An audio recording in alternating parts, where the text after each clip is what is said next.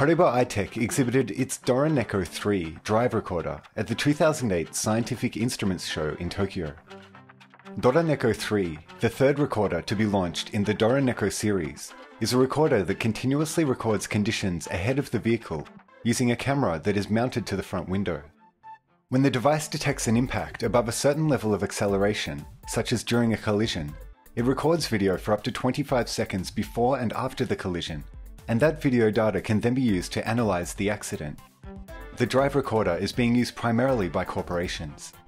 これが実はあの個人向けですけどもこれはこれ映像を残すだけなんですところがこちらはですねいわゆる法人向けさんであの映像以外にですね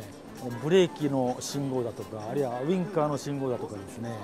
あるいはあの GPS とつないで位置情報を残すとか、まあ、総合的なより総合的なですねデータを残すようになっています、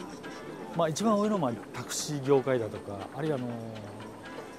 運送業者さんですねあるいは一般のあの一般の会社の、まあ、営業者はは搬送車そういう意味では多いですね The Doroneko 3 can photograph 30 frames per second and saves information such as time data, GPS positioning data, turn signal information, brake data, and the speed of the vehicle before and after a collision. こういうですねあの CF カードだとか SD カードそういうのを使ってですねここに入れるんですけどもね。走る前にそこ入れてあのスイッチを入れて走る。そしたらそれにどんどんどんどん移しているんですけども先ほど申しましたようにある衝撃以上になったらその記録を数十秒残すと。で帰ってきてですねそれをメディアを外して、えー、事務所のパソコンで再生をするということになります。